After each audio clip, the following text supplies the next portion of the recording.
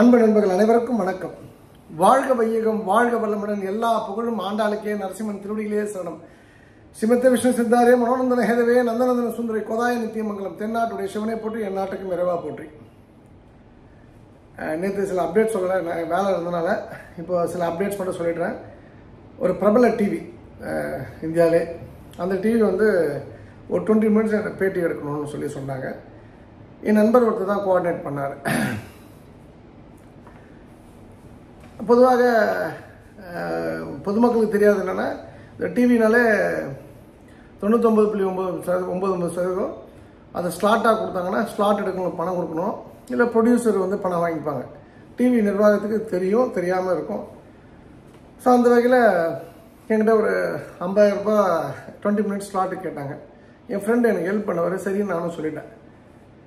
அப்புறம் எங்கே வச்சு பண்ணலாம்?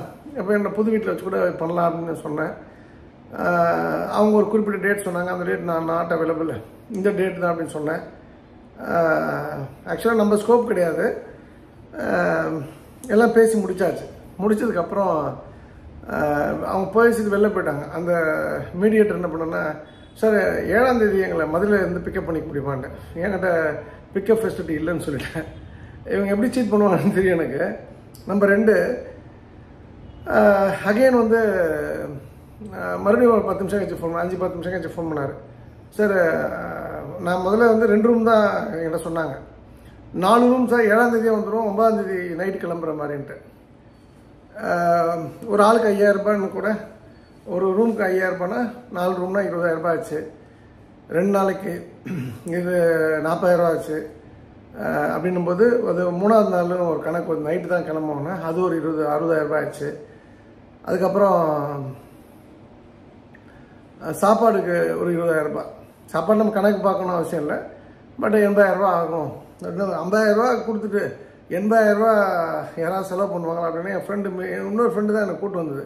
அவனை கூப்பிட்டு சொன்னேன் எனக்கு இந்த ஸ்லாட்டே வேணாம். எனக்கு எனக்கு ஏன்னா என்னை சந்தைப்படுத்தி ஒன்றும் ஆக போகல இந்த நிறைய இந்த இந்த குட்டி குட்டி சேனல்ஸாக இருக்கு இல்லையா இந்த ஆதன் ஏதோ சம்திங் இந்த ஐபிசி இதெல்லாம் கூப்பிடுவாங்க. எனக்கு அது உடன்பாடே இல்லை.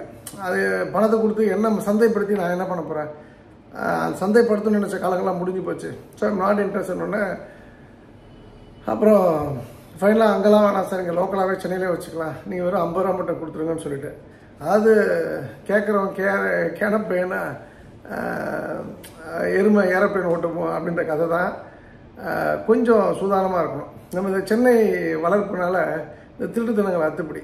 எனக்கு கூட ஒரு இடம் ப ஒரு பரிவர்த்தனை ஒரு விஷயத்தில் ஒரு ஒரு கூசாமல் நீங்கள் எனக்கு ஒரு விருப்பம் ஒரு இடம் தெரிஞ்சு போச்சு. அவர் ஒரு பர்டிகுலர் uh, அமௌண்ட்டை சொல்லி என்கிட்ட கேட்குறாரு uh, எனக்கு அவங்க டெகிலாக கொடுத்தாகணும். இல்லைன்னா நான் வந்து வச்சு செஞ்சிடுவேன்னு தெரியும் அவங்களுக்கு. Uh, நீங்கள் ஆசைப்படுறது வேணா அதுக்கு இவ்வளோ செலவாகும் சார்ன்ட்டு. நான் ஏதோ ஞாபகத்தை எனக்கு ரெண்டு நாளாக பயங்கர பண ப்ரெஷரு ஒரு மூணு நாலு நாளாகவே நான் சரியாக இல்லை நான் தலையாட்டினா அப்புறம் என் வக்கீல்கிட்ட கேட்டேன் நான் ஃபோன் பண்ணி. அவர் ரொம்ப கவர்மெண்ட்டில் அட்வொகேட்டாக இருந்தார். அவர் வந்து என்ன சார் பகல் கொலைக்காரனாக இருக்காங்க இவங்க?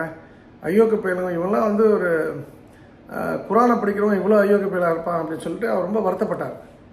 அப்புறம் அவர் அந்த இன்புட் ஐயோ நம்ம வந்து அடிஷ்னலாக நமக்கு இன்கர் பண்ணுறாங்க போல் இருக்கு நான் பேஸ் ப்ரைஸ் தப்பாக கால்குலேட் பண்ணிட்டேன்.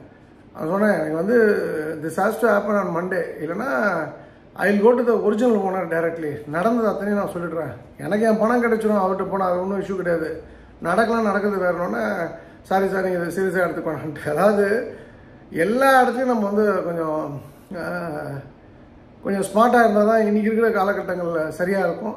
கொஞ்சம் நம்மளும் நம்மளை கொஞ்சம் ரீஆர்டர் பண்ணிப்போம். இப்போ பேக்கு மாதிரி இருந்தோன்னா வச்சு அக்கா வச்சு பேக்கரி வாங்கின கதைலாம் அதை நம்மளை அந்நியாயத்துக்கு அடித்து விளையாட்டு போயிடுவாங்க. ஸோ கவனமாக இருக்கட்டும் இன்ஃபேக்ட் இதே இதே ஒரு ஒரு ஒரு ஒரு இஸ்லா ஒரு ஒரு முஸ்லீம் ஏமாத்துறாரு. இன்னொரு முஸ்லீமுக்கு வந்து நான் ஒரு இன்னைக்கு என்கிட்ட சொல்கிறாரு யார் சார் இந்த உலகத்தில் இப்படி இருப்பா? ஒரு ஒரு கையெழுத்து வாங்கல ஒரு விஷயம் இல்லை சார். நீங்கள் என்ன சார் இவ்வளோ பெரிய விஷயம் பண்ணுறீங்களே என்னை நம்பி அப்படின்ட்டு. தட் இஸ் அ ட்ரஸ்ட் அவ்வளோதான் நம்ம எல்லாரையும் நம்பலாம். நம்பிக்கை துரோகம்ன்ற ஒரு விஷயத்தை அவங்க கொடுக்குறாங்க அப்படின்னு சொன்னால் பதிலுக்கு வந்து அவங்க வணங்குற அல்லா நூறு மடங்கு நம்பிக்கை துரோகத்தை கொடுக்க போகிறார் அவ்வளோதான் அதுக்காக எல்லா முஸ்லீமும் தீவிரவாதிகள் எல்லா முஸ்லீமும் கெட்டவெல்லாம் கிடையாது. எப்படி இந்துவில் நல்லவன் இருக்கான் கெட்டவன் இருக்கான்? அதே போல் எல்லா மதத்தையும் நல்லவன் உண்டு கெட்டவன் உண்டு. கெட்டவன் உண்டு. எல்லா மதத்துலையுமே தீவிரவாதிகள் உண்டு. மத தீவிரவாதிகள் உண்டு. So the point here is நம்ம நல்லவனாக தான் இருப்போம். நம்ம இப்போ நான் நான் வந்து நல்லவனாக இருந்தேன் என்னை ஏமாற்றினாங்க யாரெல்லாம் ஏமாற்றினாங்களோ யாரெல்லாம் வந்து என்னை மீறி போனாங்களோ அவனுக்கு தான் பாதிப்பு. எனக்கு ஒன்றும் இல்லை. நான் ஆலமரம் மாதிரி அரச மரம் நின்ன இடத்துல நல்லா கம்பீரமாக நிற்கிறேன் எத்தனை சுனாமி வந்தாலும் எத்தனை புயல் வந்தாலும் எத்தனை வல்குணம் வந்தாலும் நான் நிற்பேன் எனக்கு அதுக்கான வலிமை ஆண்டால் கொடுத்துருக்கா. ஆனால் நிழலுக்கு என்கிட்ட தான் இருக்கணும். இப்போ என்ன பகைச்சிக்கிட்டு என்னை மீறி போய் அடிபட்டு உதப்பட்டு என்னை ஏமாற்றி இந்த பொன் முட்டையிடுற வாத்தை ஒரே நல்லா கட் பண்ணி வாத்தை சாப்பிட்ட கதை தான். இன்றைக்கி ஒரு முட்டையோட போச்சு. நான் என் கூட ட்ராவல் பண்ணேன்னா லைஃப் லாங் முட்டையாக இருந்திருப்பேன். ஸோ நான் உணர்ந்தது இந்த இவ்வளோ நாள் அடிபட்டதுக்கப்புறம் நம்ம நல்லவனாக நடிப்போம் கெட்டவனாக இருக்கிற பட்சத்தில் நம்ம ஒரு நாள் நல்லவன் ஆகிடுவோம் நமக்கு கெட்டது நடக்காது. அண்டர்லைன் பண்ணிங்க. ரெண்டாவது விஷயம்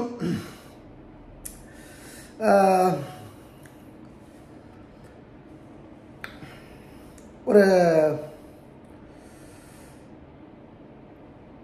ஒரு அகைன் மெட்ராஸ் கதை தான். நான் எனக்கு வந்து அந்த கோதுமை பரோட்டா ஒரு பர்டிகுலர் மலையாளி கடையில் வாங்கி சாப்பிட பிடிக்கும். அங்கே என்ன அந்த க்ரீன் பீஸ் மசாலா கொஞ்சம் நல்லா காரசாரமாக பெப்பர்லாம் போட்டிருக்கோம். பன்னீர் அங்கே நல்லா பண்ணுவாங்க. நான் வந்து எப்பவுமே நான் தனியாக வீட்டுக்கு போகும்போது அங்கே ரொம்ப பசி வீட்டுக்கு போகிறதுக்கு டைம் ஆகிடும்னா அங்கே சாப்பிட்டு போயிடுவேன். நான் தான் இப்போ தான் நோட்டீஸ் பண்ணேன். நான் வந்து தனியாக போகும்போது கிரேவி நிறையா இருக்கும். நான் ரெண்டு கோதுமை பரோட்டா சொன்னால் அந்த கிரேவி வேஸ்ட் வந்து மூணாவது பரோட்டா ஆர்டர் பண்ணுவேன். ரெண்டு பேர் இப்போ நானும் என் சமயத்து என் நண்பர் பரத்தும் போனோம். அப்போ கிரேவி குறைவாக இருந்தது. இவன்கிட்ட கேட்குறேன் இல்லை சார் எப்போவுமே கிரேவி இப்படி தான் ஐயோ நான் வந்து காலம் வருஷ வருஷமாக இங்கே சாப்பிட்ருக்கேன் என்ன இந்த மாதிரி சொல்கிறேன் அப்படின்னு சொல்லி நான் எதுவும் ஆர்கியூலாம் பண்ணிக்கல. நேற்று நான் இவனை டெஸ்ட் பண்ணணும்னு போய் பார்த்தா கிரேவி எது ஃபஸ்ட்டு டைம் எப்போ கொடுப்போம் அதோட நேற்று கிரேவி கம்மியாக இருந்தேன்னு சொன்னால் ஒரு ரெண்டு இன்ச்சு எக்ஸ்ட்ரா தான் கிரேவி கொடுத்தாங்க. என்னடா சைக்காலஜின்னு பார்த்தா ஒரு ஆள் போகிறேன் ஒரு இதுதான் நான் வாங்கணும்னு தெரியும். கிரேவி எக்ஸ்ட்ரா கொடுத்தாங்கன்னா அந்த கிரேவி வேஸ்ட் ஆகிடும் வேஸ்ட் ஆகிடும்னு அதெல்லாம் தமிழரோட மென்டாலிட்டி அப்போ அதுக்கு ஒரு பரோட்டா வாங்க ஸோ அவனுக்கு சேல்ஸ் கரெக்டாக நடந்துடும் ரெண்டு பேர் போகும்போது கிரேவி கம்மியாக கொடுத்தா இன்னொரு கிரேவி ஆர்டர் பண்ணுவாங்களே இன்னொரு சைட் டிஷ் ஆர்டர் பண்ணுவாங்களே இதான நம்மளோட மென்டாலிட்டி நம்ம ஒரு ஆள் இதை வந்து ரெண்டு பேர் பிரித்து சாப்பிட முடியாதுல்ல? எவ்வளோ டெக்னிக்கலாக இருக்காங்க பாருங்கள் மெட்ராஸில் பிஸ்னஸ் பண்ணுறாங்க அதனால தான் சொல்கிறேன் அது அதாவது இங்கே மலையாளிஸ் நல்லா இருக்காங்க கேரளாலேருந்து வந்து.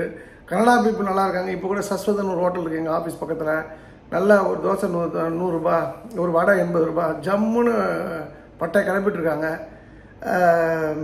அப்புறம் வந்து எங்கே உலகத்தில் எந்த மூலேருந்து இங்கே வந்து ஒரு தொழில் ஆரம்பிச்சாலும் அவன் நல்லா இருப்பான் மார்வாடி எல்லாருமே நல்லா இருப்பாங்க.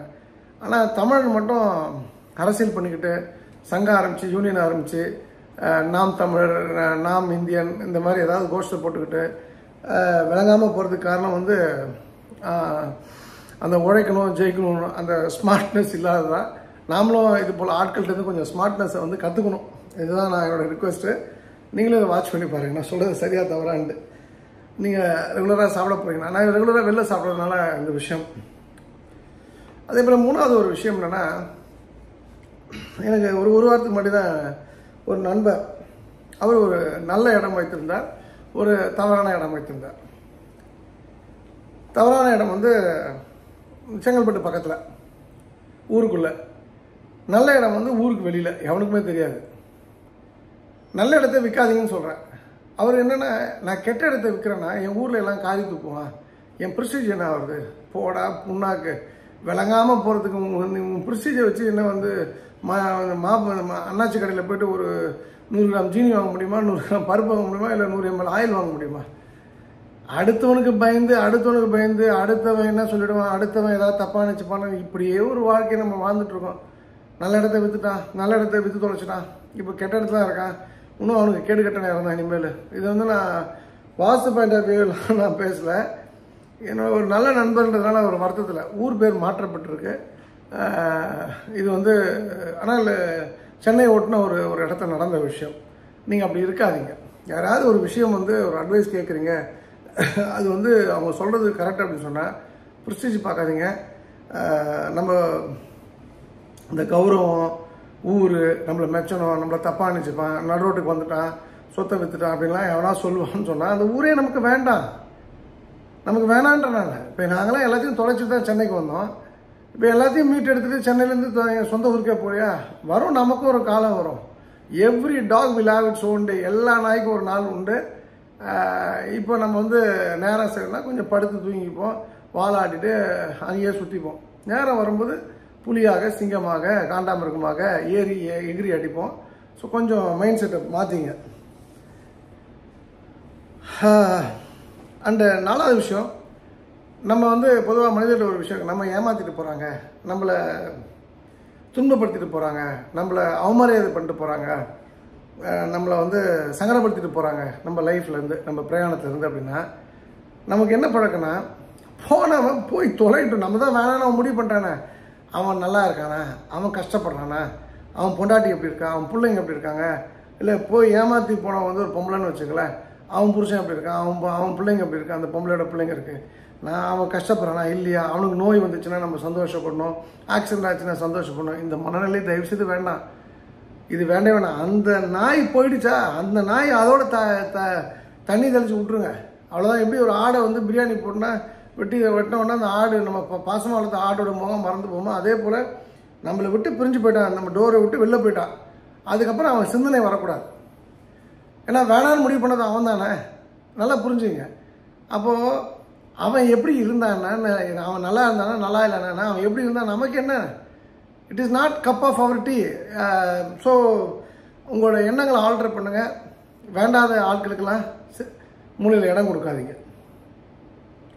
அண்டு எனக்கு ஒரு மகிழ்ச்சி என்னென்னா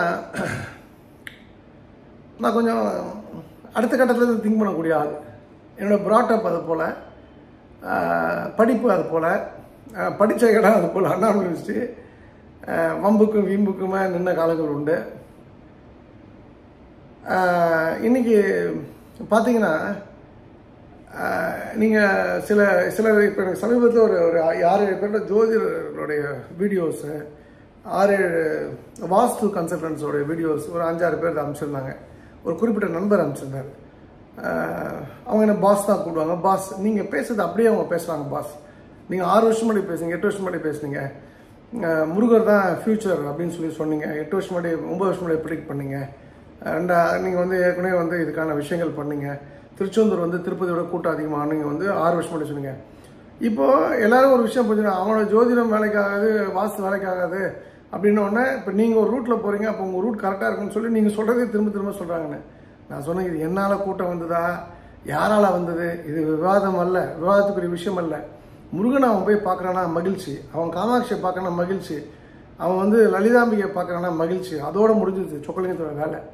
ஸோ அவங்களுக்கு அதான் சொன்னேன் don't waste time and energy நம்ம ட்ரெண்ட் செட்டராக இருக்கிறோம் அப்படின்றது நமக்கு தெரியணும் அவசியம் இல்லை உங்களுக்கு தெரியணும் அவசியம் இல்லை.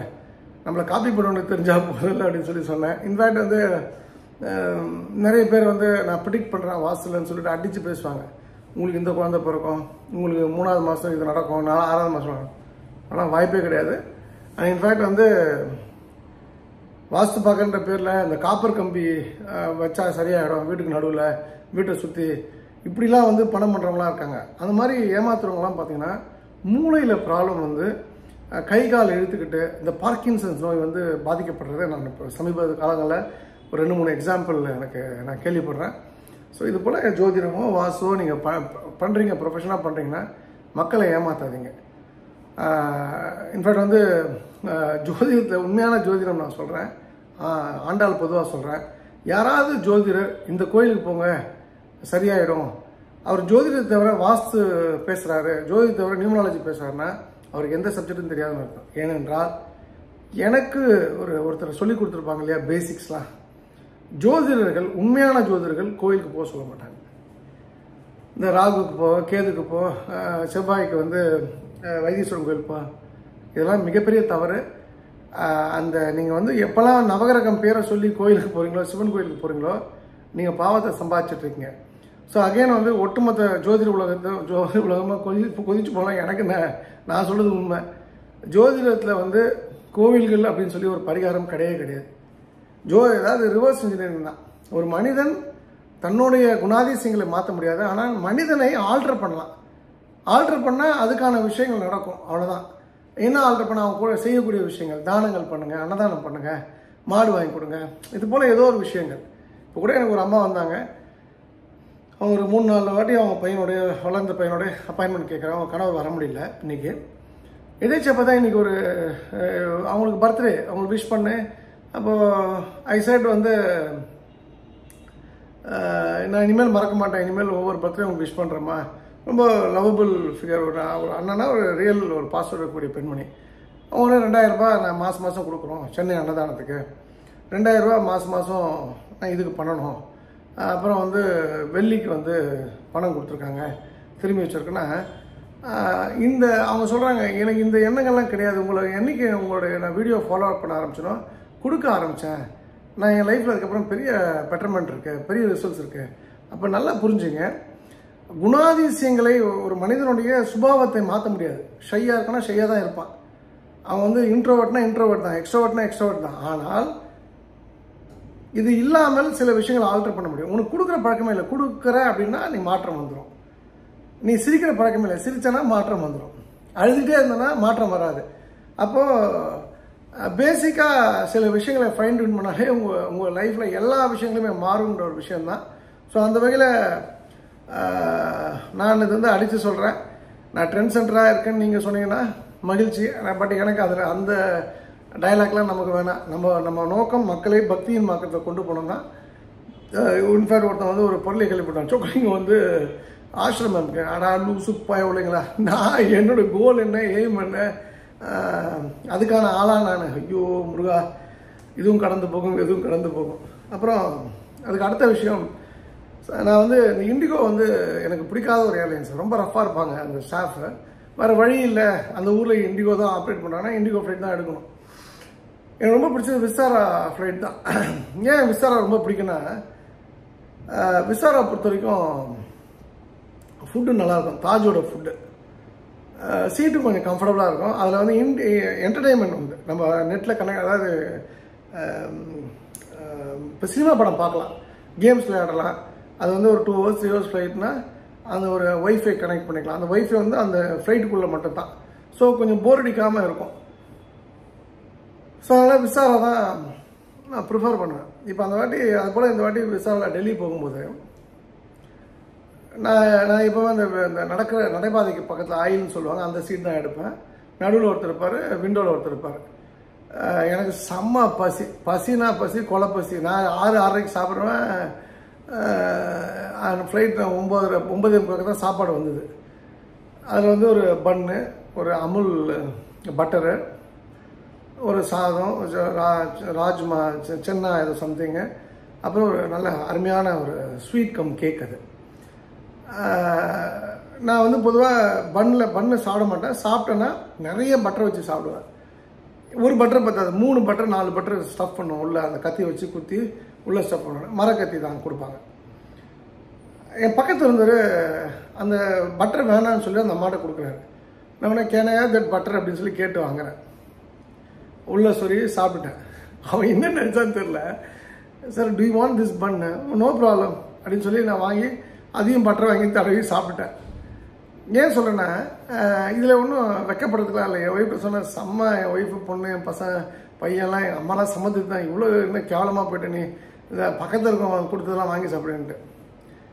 அவன் வந்து கொடுத்தா அவன் திரும்ப ரிட்டர்ன் பண்ணான் அதை அவங்க குப்பையில் போட போகிறாங்க அதை நான் வாங்கி சாப்பிட இருக்குது இதுக்கு முன்னாடியே மதுரைக்கு ஒரு வாட்டி போகும்போதும் இல்லை லாங் டெஸ்டினேஷன் எங்கேயோ போகும்போது அகைன் சம் குஜராத் பக்கம் தான் போகும்போது அங்கேயும் ஒரு பாப்பா வந்து ஃபுட்டை வேஸ்ட் பண்ண பார்த்தா அவளுக்கு வந்து அதில் வந்து ஏர் இந்தியாவில் ஃப்ரீ ஃபுட் கொடுப்பாங்க. எனக்கு வேண்டாம்னு சொல்லிட்டா. இன்னொரு ஃபுட்டு பிரிச்சுட்டு ஒன்றே ஒன்று ஒரே இது மட்டும் எடுத்துகிட்டு பிஸ்கட் மட்டும் எடுத்துகிட்டு குப்பையில் போட குப்பையில் குப்பை மாதிரி வச்சுட்டாங்க அது யாராவது வந்தால் அந்த கடைசியாக ஃப்ளைட்டு இறங்குறதுக்கு முன்னாடி ஒரு பேக்கில் வந்து கலெக்ட் பண்ணிட்டு போவாங்க. அப்போ நான் சொன்னேன் மேடம் தப்பாக அந்த ஃபுட்டு வந்து ரொம்ப கஷ்டம் கிடைக்கிறது. அது நீங்கள் எனக்கு கொடுத்தீங்கன்னா நான் வெளில யாருக்காவது கொடுத்துருவேன் அப்படின்னு.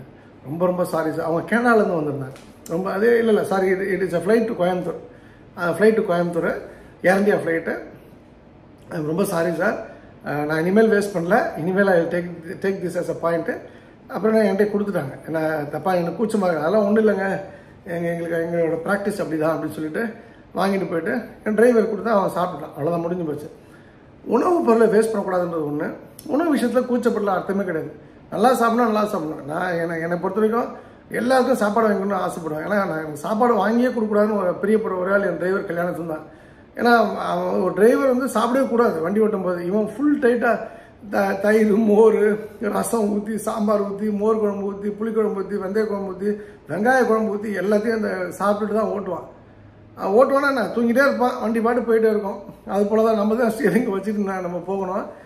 நான் மற்றபடி எல்லாருக்குமே எக்ஸப்ட் கல்யாண சுந்தரம் நான் எல்லாருக்குமே ஃபுட்டு வாங்கி கொடுங்க ஆசைப்படுவேன்.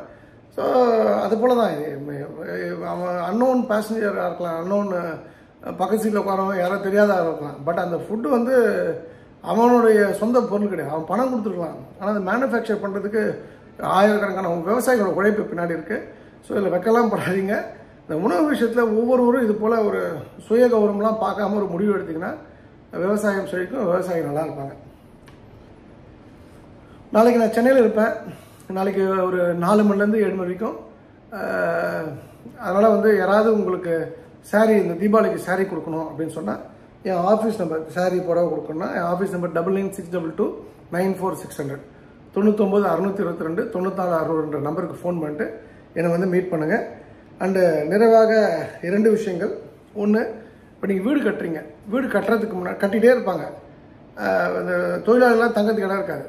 அப்போ சென்ட்ரிங் போட்டு பிரித்த உடனே எல்லாரையும் அங்கே தங்க விட்டுருவாங்க. இந்த தப்பை மட்டும் பண்ணாதீங்க. வீடு கட்டுவதற்கும் வீடு கட்டி பால் காய்ச்சி குடியேறதுக்கு முன் யாரையும் வீட்டுக்குள்ளே தங்க அனுமதிக்காதீர்கள். அந்த தப்பை நான் பண்ணியிருக்கேன் இப்போ நான் பண்ணியிருக்கேன்.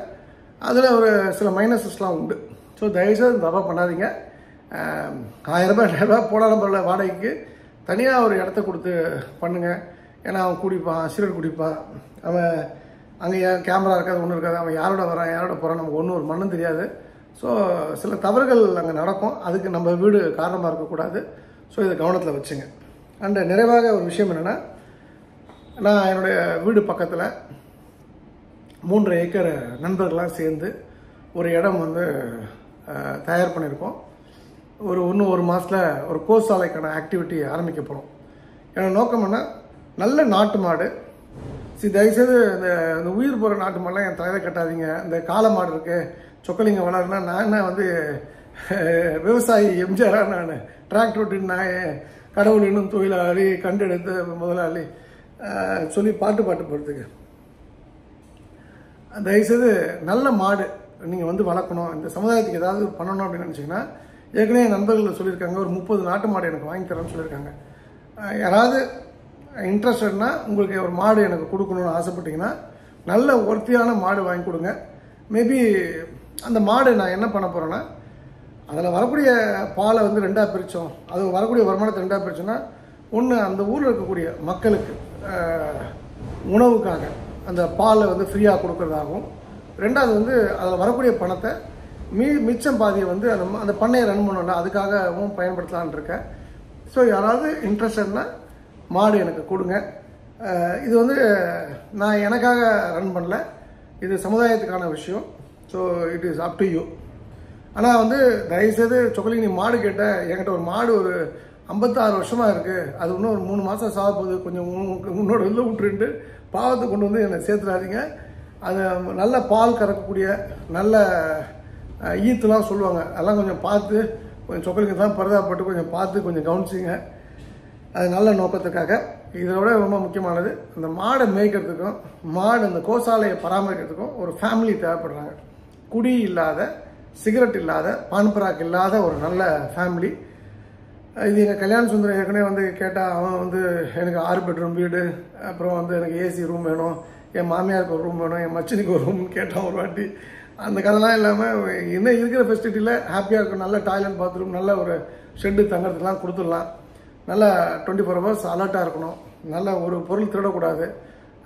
ஏமாற்றாமல் அந்த தன்னை ஒப்படைத்த அந்த கோசாலையை பார்த்துக்கிட்டாங்க அப்படின்னு சொன்னால் நான் மிச்சது அவங்க லைஃப்பை நான் பார்த்துப்பேன். ஸோ யாராவது வேலைக்கு என் கூட வரீங்கன்னா you please let me know இந்த அந்த அப்புறம் நான் வந்து கற்றுக்குறேன் எனக்கு மாடுலாம் வந்து வச்சு மேனேஜ் பண்ண தெரியாது. நான் வந்து எனக்கு கற்றுக் கொடுங்கன்னா எனக்கு தெரியாது. அதனால் நீங்கள் தான் பார்த்துக்கணும். அண்டு ஒய்ஃப் இஸ் லைஃப் அப்படின்றதான் எனக்கு நான் பேச வேண்டிய விஷயம். என்ன சொக்கலிங்கம் ஒய்ஃப் இஸ் லைஃப் அப்படின்னு சொன்னால் ஒரு ஒரு சின்ன கதை தான். ஒரு பெரிய ஒரு ஒரு ஒரு ஆசிரமம் அதில் ஒரு பெரிய முனிவர் அவங்க மு மு- முனிவருடைய மனைவி. ஒரு ரொம்ப அற்புதமான மனைவி. இவங்க ரெண்டு பேரும் என்ன பண்ணுவாங்கன்னா ஆனவுன்னா காட்டுக்கு போயிடுவாங்க. முனிவர் ஏதோ தேடிட்டே இருப்பார். இந்த அவரால் என்ன தேடுறன்னு பொண்டாட்டிகிட்ட சொல்லலை. பொண்டாட்டியும் கேட்கல அது கேட்கறதுக்கு தப்புனாலும் அவனும் கேட்கல அவனும் புருஷன் கூட தேடுவாங்க. அந்த அம்மாவும் எதோ தேடுறாரு நம்மளும் தேடுவோம்னு சொல்லிட்டு. இதே வந்து அவளுக்கு என்ன வேலைன்னா போயிட்டு வந்தோன்னே தலைவன் முனிவருக்கு டயர்டாக இருப்பார். கை கால் அமுக்கணும். நல்லா சூப் முருங்கைக்காய் சூப் வச்சு கொடுக்கணும். இது போல் நல்லா கணவனை மெயின்டைன் பண்ண வேண்டியது மட்டும்தான் அந்த அந்த மனைவியோட வேலை. ஆனால் உண்மையிலே நல்ல முனிவர் அவர் இது இப்படியே போகுது. வருஷம் வருஷமாக போய் போய் ரெண்டு பேரும் டயர்டாகி ரெண்டு பேரும் வயசானவங்க ஆயிடுறாங்க. திடீர்னு ஒரு நாள் முனிவர் அதே போல் ஏதோ ஒரு விஷயத்திற்காக வெளியில் போயிட்டு உள்ளே வரும்போது ஆசிரமத்தில் பார்த்தா ஒரு ரொம்ப அழகான பியூட்டிஃபுல் ஒரு பெண்மணி இருக்கார். எனக்கு பானப்பிரியா ரொம்ப பிடிக்கும். அது போல் ஒரு பெண்மணின்னு வச்சுக்கலாம். இல்லை ஈஸ்வரா மாதிரி வச்சுக்கலாம். இவர் அதிர்ந்து போயிடுறாரு. பானு அவுக்கம் திஸ் இஸ் அப்படின்னு ஏதோ கேட்குறாரு முகம் மட்டும் அந்த தன்னுடைய மனைவி முகமாக இருக்கு. இது எப்படி இருபத்தஞ்சி வருஷத்துக்கு முன்னாடி உள்ள ஒரு உடலை பெற்றிருக்காங்களே அப்படின்னு சொன்னோடனே அப்போது அவள் சொல்லுவா சுவாமி நீங்கள் ஏதோ வெளியே போயிருந்தீங்க. நான் வந்து நம்ம சாப்பிடுறதுக்காக கூழ் காய்ச்சிட்டு இருந்தேன். கூழ் வந்து கொஞ்சம் அந்த கூழ் காய்ச்சும் போது அந்த கம்பி உடஞ்சி அந்த கூழை வந்து நல்லா கிண்டக்கூடிய அந்த கரண்டி உடஞ்சி போச்சு.